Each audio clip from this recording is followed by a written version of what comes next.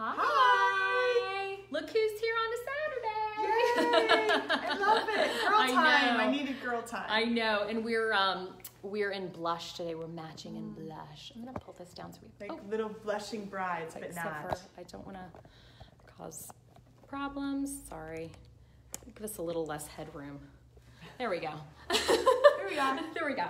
Okay. Hi. So Happy Saturday. Happy Saturday. All right, Shannon just graduated her last My child, baby. her baby. Yes. Troy graduated from. He graduated from Dwyer, Oh. um, and he graduated Monday night. Uh, And you know, I, I have to be honest, I wasn't prepared for how I would feel. I'm a crier and I'm emotional, obviously. Right. Shocking for everybody. But I'm I listening. Sorry. I was not prepared for how um, how excited and happy and joyful I would be. I'm sorry. I'm trying to. Okay, hold on two seconds. I got to plug in this microphone. I forgot about this. hold on. sorry, guys. Okay, let's try this again. I should have had this.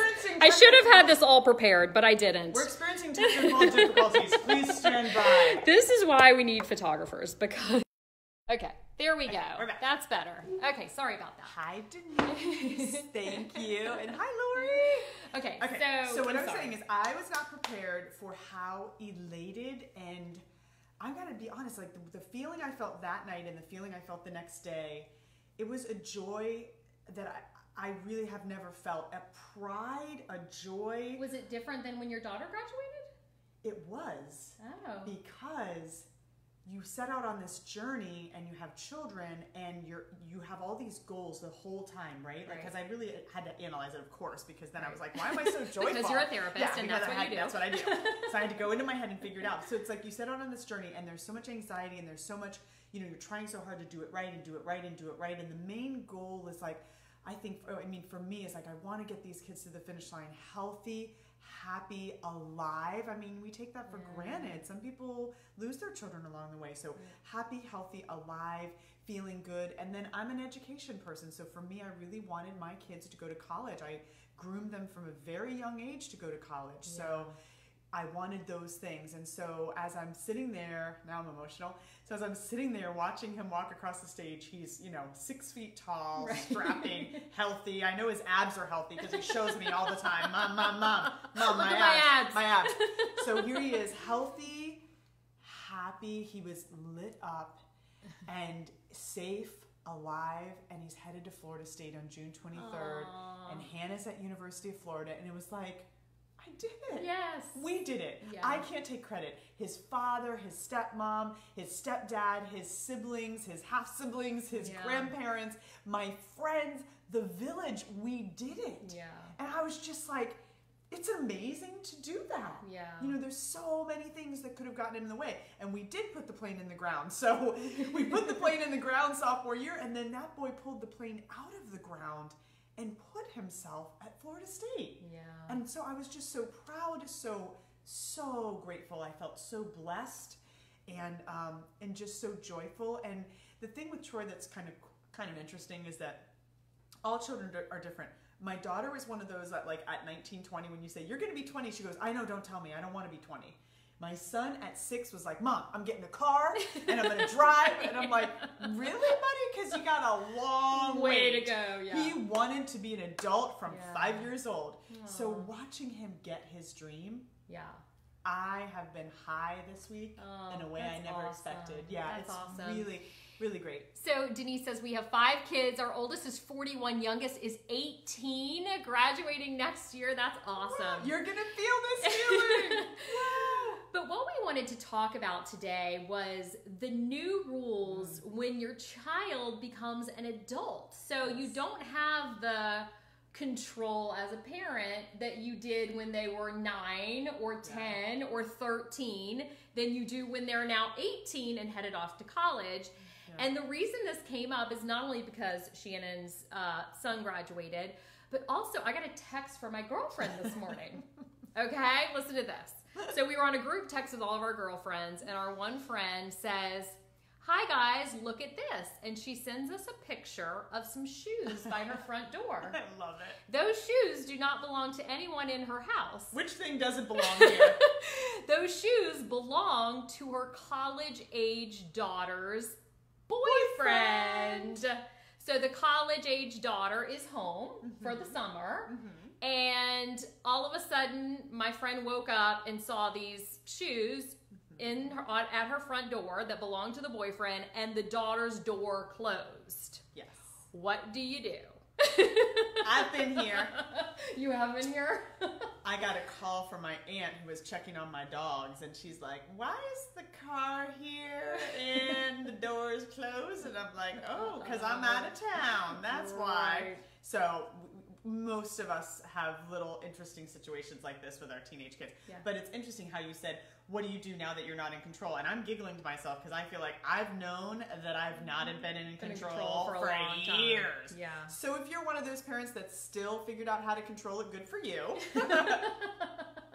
All hail the king. yeah. But things are fixing to change. Yeah. So the thing about my girlfriend is she said, you know, her daughter was smart because the dad was on call at the hospital. Hmm. So she knew her dad wasn't going to be home. But doesn't she know that mom's gonna tell dad everything? Well, I would think so, but I don't know if mom's going to tell dad everything. So she was like, Do I bust in there? Do I make a scene? Do I tell him this is not okay? Like, what do I do? 20 minutes later, I get a text from her and she's like, I'm making them breakfast now. when all else fails, Make eat breakfast. food, Yeah. feed them. So do Oh. you uh. bust in? Do you make a scene? I mean, because you still have rules under your house, right? You do. So, okay, so I'm going to just be straight up honest and say I am speaking as a mom, not just a therapist, and I'm just speaking as a person who has their own opinions because mm-hmm. this is going to be different For for, everybody. Yeah. Okay? From for the Catholic home, I mean, I I have a lot of Catholic friends. My husband's Catholic. I mean, I've seen all kinds of interesting things and bargains and deals go on in Catholic homes. Like you need to not do this until this, and Right. so everybody's going to handle this differently. My approach has been very um, not the norm. Mm-hmm. I, at a very young age with my kids, said, "You can tell me anything, and, and I'm going to answer any question you ask." Which now, for the past five years, I've been like, "Stupid, stupid, stupid." Why did they tell me that? Why? Why have I done this to myself? And they'll tell me now. They're like, "Mom, you wanted to know. You told us to tell you. We could tell you anything." And I'm like, "Ah, my ears are bleeding." But that was the premise that I set up for my kids because I wanted them to be able to tell me if they were doing something dangerous. I wanted them to be able to tell me about drugs and alcohol and Sex. drinking and driving and sex and Yeah. STDs and all of it. And so they have. it was the worst decision of my life. But I think they would say they greatly appreciate it. And I have given them guidance. But because I've been that kind of a mom, there's no secrets, there's no games. I've known from day one with my kids when they've entered that arena. Mm-hmm. And so I've been able to guide them as far as safety and prevention and protection. But it's also set up a little bit of a weird arrangement with them kind of being like, hey, going in my room. And it's like, oh, no, I don't want to be here. Yeah. So I think that that's really the, the bottom line, and it's going to be for everything now that your kids are 18, is what are your rules for you? Yeah. What are your rules for your home? Right. What are your rules for the money you provide? Yeah. What are the rules for the car you pay for and insure? Right. But those of you that are very controlling, which is like 97% of you, because that's just how we are, remember, fear allows us to control. So, control is fear is managed by control. So, when we're fearful, we will control. That is Right. what we do. We get scared and then we say, well, if you ever and if you don't, and, Mm-hmm. and that's what we do as parents and as humans, right? So, I get that you're going to want to control. What I am going to say to you that I believe is healthy, now this is from my therapist hat, your child has a right to make their own mistakes. Your child has a right to their journey. Your child has a right to make their own decisions. However, when those decisions affect you directly, mm-hmm. affect your finances, affect your sanity or whatever, you have to set boundaries around what you need from your child. Mm-hmm. But this gets very very dicey because if you you're going to have to check your intention. If you're starting to say perfect example like you need to be home at midnight. Well, why do I need to be home at midnight? Well, because nothing good happens after midnight. A child should not be out at one o'clock. That's when all the drunks are on the road, and that's when you shouldn't. Da da da da. So when you start setting that boundary, that's about control. Yeah. You don't want your kid out. You don't want them to get exposed to cocaine or heroin, and you don't want them drinking, driving. Blah blah blah blah. blah. That's about control. What I would say is, you know what? I get up every day and go to work at seven. Yeah. This is my home and this is my sanctuary. Right. I'm shutting this place down by 12 1 o'clock. I'm going to set the alarm and everything else. You need to be home here by that time, or you need to send me a text prior to that time saying you're sleeping out. Yeah. I'm not in charge of you. I can't control you Right. and what you do, but I can control the way my home is governed and what time I get to go to bed because otherwise I'm going to be up worrying about you Yeah. and all that other stuff. That's good. Right. Yeah, I So- like that. So you have to check your intention. If your intention is to control their behavior, I would really caution you. Now, I, I, this is dicey. I have a 19 year old daughter. I've provided her a car. I pay the car insurance. I pay for her college. So, for example, the one rule I have when you're driving home to Gainesville, you are not to be driving on the road at pitch dark. You're not to leave here at 5 and drive from 5 to 10 in the pitch dark. That literally unravels me for safety purposes, mm-hmm. and I worry sick about her, so on and so forth. But here's the other thing when or if she breaks down at 9 o'clock, mm-hmm. what is that going to do to me in Palm Beach County? She's now three and a half hours away on the side of the road, and guess whose problem it's now? Yeah. mine. Mom, I need you to come get me. I need you to drive up. So Right. for me, so that is how I'm able to do the rule, Right. right? Because this is what I need. This is what I need. Right. I am not going to get in my car and come rescue you four hours away because Right. you, and in the dark, you're sitting on the side of the road in the dark. Now I'm on the side of the road in the dark. Now Mm-hmm. we're at risk to get hit and run over and all this stuff. And I unfortunately know people who have buried their family members from this scenario. Mm-hmm. So absolutely not. And I can say that because that car you're driving up there is mine. My car. I pay for it. Yeah. I bought it, and I'm paying the insurance. So th- that's my only rule. She tries to break it every single solitary time she comes home. I think she just broke it last week. she week. just broke she? it last week, but she but what's, tried. the, but what's the punishment for that? Is there Well, a punishment? so, or? so so last week she really tried. She got caught in traffic for an hour, and it Oh. set her back. So she really Yeah. tried, and she has. And what I've had to do because I'm really horrible at this, admittedly, yeah. But what I've had to say is, and I, and she knows that there's a chance that I will follow through at this point because I know I need to start following through more. But what I've said is, if you blatantly violate that rule, if you're at dad's house and you're at a cookout and you're like, ah, screw mom, and you stay there till eight and you drive from eight to twelve, the next day I'm coming to get the car. Oh. I'm going to drive up. I'm going to cancel Right. my day at work because I work for myself. So you know I can do it. I'll cancel my day. Brian and I will jump in the car. We'll drive up and we'll get your car, and then you can figure out how to maneuver. Right. she's in a small town. She can Uber or whatever. It wouldn't Right. be the end of her life, but it certainly would be inconvenient. Yeah. Yeah. So I have never done that. I have threatened to do that, but but I've threatened many times. I haven't followed through. She's But getting Hannah, better. You better not. you know. well, like for example, this morning she's coming home because she knew last night. Now I do let her drive home like when she leaves Gainesville at like five mm-hmm. because she's closer to me. So Yeah. if she's three hours in and breaks down or Right. whatever, I can get to. She's an hour from me, right? I don't want her four hours away or three hours away on the side of the road. It's pitch black in Gainesville. It's like Yeah. deliverance scene, Right, you know. right. Oh, I know. Yeah, you know. So, um, yeah, so so that's the kind of thing. But you have to check yourself because if you get into this micromanaging, all you're going to do is push your kid away. You're going to teach them to go underground. You're going to teach them to lie. You're going to teach them to But manipulate. what age do you start that? Because I feel like even like 16, 17, they're already starting to get, Absolutely. you know? Absolutely. I, I really, really encourage people. The rules for me, when I used to work with children and their parents, I would say, listen, zero to 14, of course, you're coddling, you're protecting, you're, you're, you're doing everything to keep them out of harm's way. You're handling this, you're handling that, you're handling this. 14 to 18, treat them the way the world treats them. If you're going down the road at 50 miles an hour and the speed limit's 35, you can flirt all you want, but you're getting a ticket. Yeah. So come up with consequences that fit the crime Right. and do those consequences from 14 to 18 so that they can survive in the world. Right. So that when they don't show up to work, they get fired. They're like, yeah, that makes sense. Yeah. That's a consequence. So when they Right. speed, they get a ticket. They're like, I, I saw that coming. Yeah. When I did this, you know, when I did when I came home an hour after curfew, my mom took my car. Right. You know, Yeah, like, that happens. So, yeah, so set Yeah. those consequences that make sense, that fit the crime. You know, don't like take the car for six months because they were 30 minutes late. But okay, so now you you came home after curfew, so now I'm going to take the car for a week, or I'm gonna you're not going to go out next weekend. You're going to come Yeah. home right after work. Like set consequences that fit. Right. But I definitely believe in doing that 14 to 18 because you do want them to learn Yeah. The consequences. about consequences and learn about life. Yeah, you don't So- want to coddle them so much and protect them so much and be so controlling that then when they go off to college, like I did, Yeah.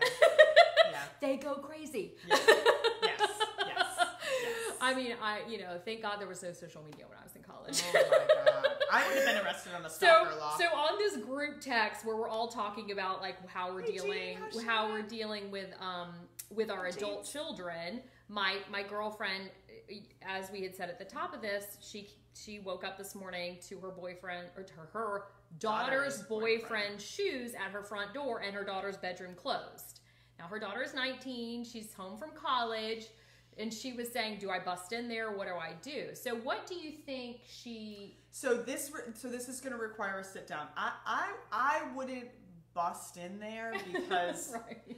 I mean, listen, With a shotgun? Yeah, like you know, we all know, you know what I know, what you know, you know what's going on, and she felt some level of comfort with you, so maybe she's been telling you or whatever. So I, I personally, everybody's different. Yeah. I wouldn't bust in, but I would if I'm uncomfortable because everybody's different with this, right? Like I told you in my house, like everybody tells me all their junk, so they have kind of a little bit different rules.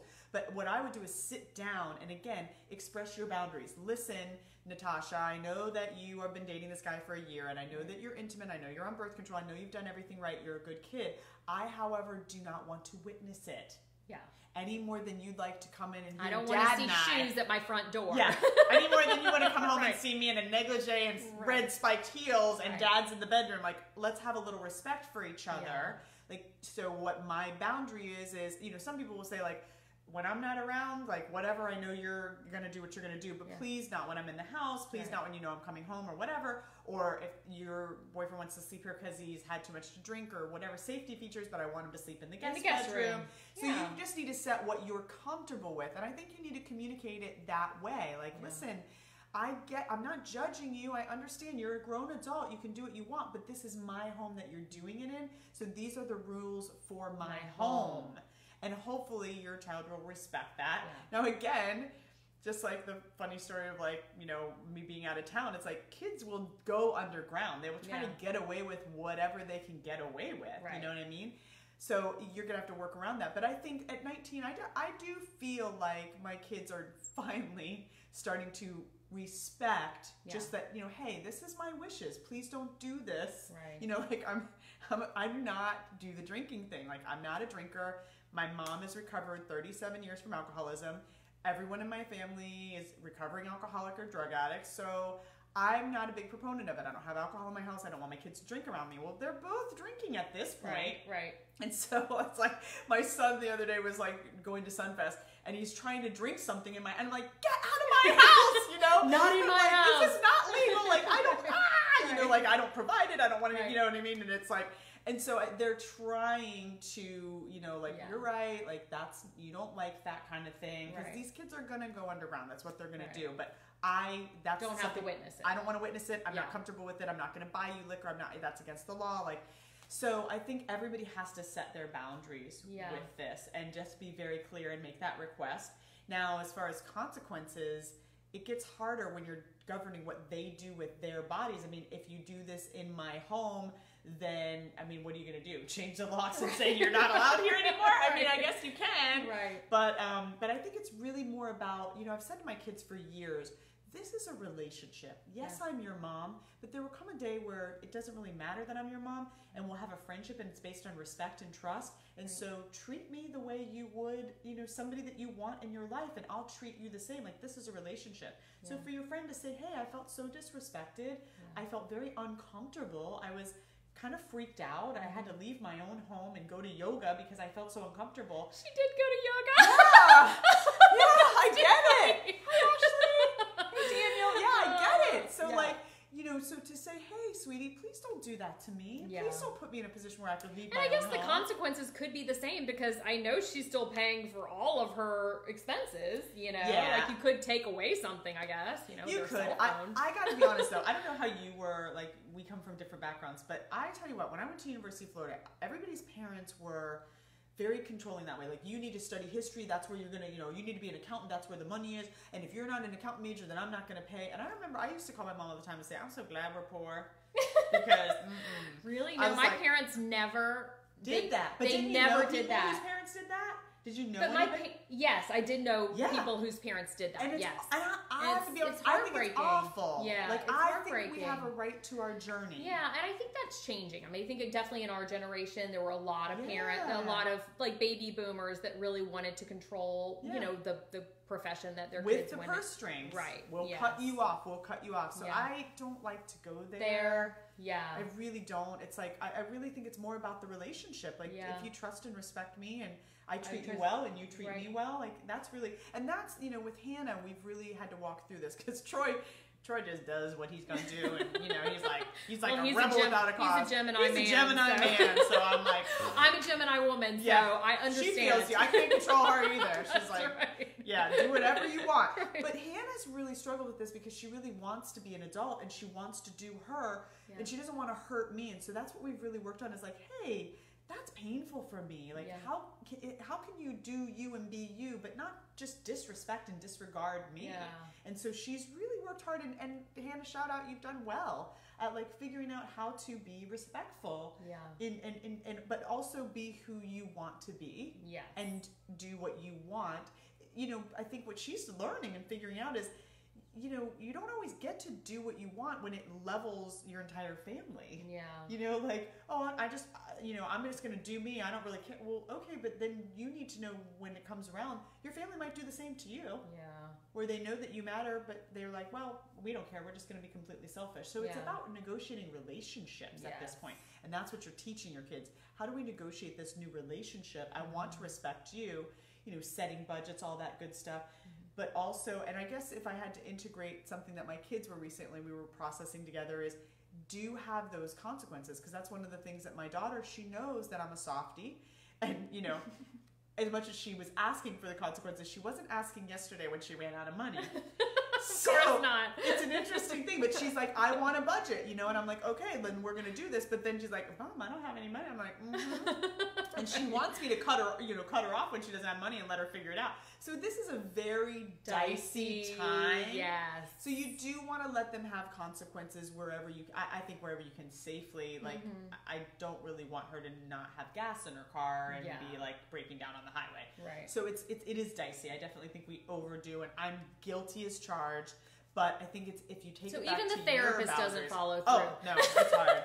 this is hard stuff. That's really right. hard stuff. I threaten my kids stuff. all the time and then I never follow through with it. I'm like, but I do, I mean, I do sometimes, like I took my daughter's phone away when some stuff was happening. So I have done that. But yeah, like for, for a 19 year old, like can't really take their phone away even though you're paying for it because that's your Well, I- lifeline to them. I don't have to tell a funny story, Oh. and they're gonna hate me, but it's just too good. Really quickly, Mike Caruso says he graduated at 16, so his journey started early. I oh, that's that, amazing! Mike. Smarty pants, smarty Yeah. pants alert. That's awesome. Okay, so what's your So funny story. So so my kids did an intervention on me, and it was it was a beautiful thing. And my son, like, he's made for law school. He's so he's just so smart, and he's such a great debater. And I'm not making fun of them because they really they did a wonderful job of of speaking up, and they commun. And he was very respectful. He didn't stomp out. He didn't get mad. We we walked through it. But their intervention was his intervention was you need to let Hannah fall on her face, basically. Like you need to let her be an adult, stumble, fumble, do not fix anything for her anymore, mm-hmm. you know, whatever. And I kind of looked at Hannah like, really? Because Hannah and I have this interesting relationship where she wants me to fix it, Yeah. but then she wants to be an adult. Yeah. And so and so I do try to let her as much as possible, but then also when your kid calls you from college and they're like freaking out, they're overwhelmed, they're stressed, they're in mm-hmm. final exams and this needs to be handled, you I am like, okay, let me just make life easier for you and handle this. Yeah. And she'll let me, right? Yeah. She's thrilled. But then a week later she's like, I'm an adult. so you know, this is we talked about this at Healthy Mothers, Healthy Babies. This is the individuation stage. She's trying to figure it out. I'm trying to figure it out. But they were very firm, and my son was like, "You need to, you know, like put her on a budget. And if she runs out of money, she runs out of money, and she's not going to die, and all this great stuff, right?" So I was like, "Okay," and I was like, deep breathing. I'm like, "No, this is this is true, and I have been working on that since she's been at college. But I can even be more the enforcer. Like they want me to be the enforcer. I'm like, okay, I can I can be tough. Right. So, but they're on their way to Sunfest and they're racing out the door and he's ready to get his party on and he's Yeah. running. So they race out the door and they get to his because he lives with his dad now. So they get to Dad's house and they're getting ready and he's putting his stuff on and he's buying tickets and so he needs her card for his tickets and she doesn't know where her wallet is.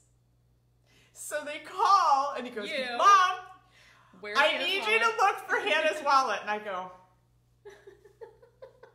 Well, that, tell me more. It's interesting. well, she's lost it. She has no idea where it is. Can you just? I go, well, in honor of our discussion 17 minutes ago. I'm not rescuing you. the wallet's kind of important because it has her credit card, her driver's license. She was going to fly the next day. I said, so I walked in a room as a nightmare. I kind of mm-hmm. glanced. Right. There was no possible way. I was like, Right. sorry, buddy. I go, she needs to have her hands on that because when you're an adult Yeah. and you lose your wallet, you have to cancel your credit card. Yeah. And she would need to get a new license. And she's flying tomorrow. So I guess you got to come back here. Oh, I love it. Can't you just bring it here? Because mom, just this once. And I go, "Mm, but you just did an intervention on me like 14 minutes ago. So, and Hannah's like, no, that's not what we just asked her to do. We gotta go back. That's right. So- Only when it's convenient for us. Exactly. So, and we Do we want you to stay stay away? Yeah. So we had a couple of those incidences since it. So it's kind of funny. Oh, I love it. Okay, I think that's our food. We ordered food. let me go. So- Let me go grab We're it really taking a quick. pause. Yes. So anyway, that's so that's the fun part about this is it is a process. It is a journey. The the whole concept of individuating. It takes both sides to figure this out, and it's a personal experience, and everybody's going to be different. So don't beat yourself up. I'm figuring it out as I'm as I'm teaching and talking about it. As I know the rules, I'm still figuring it out, and every kid is different, right? So some kids are really good at kind of clean boundaries and other kids it's going to be kind of murky and it's just a process for everybody and we're all doing the best that we can so i think just be gentle with yourself um, but figure out what you need and what you want from your kids lunchtime figure out what you need and what you want from your kids and that's going to make it go a little smoother because Yeah. that way at least you know i need to take care of me Right. these are my boundaries to take care of me Yeah. and you are an adult you can choose to do it how you do it but you cannot cross over into my boundaries I like that. I like that a Yeah. lot. So I think I think um, my friend handled it. so I'm on a group text with all of my girlfriends, and this is where this this this incident came up. And I just saw they sent another group text. I woke up this morning to like 25 messages. I'm like, can you guys just take it down a notch on the group texting? and they sent all pictures from from college. Oh wow! You know, back when we had to get them um, developed. oh, you know, and so some of them are like, oh, okay. I don't remember that night.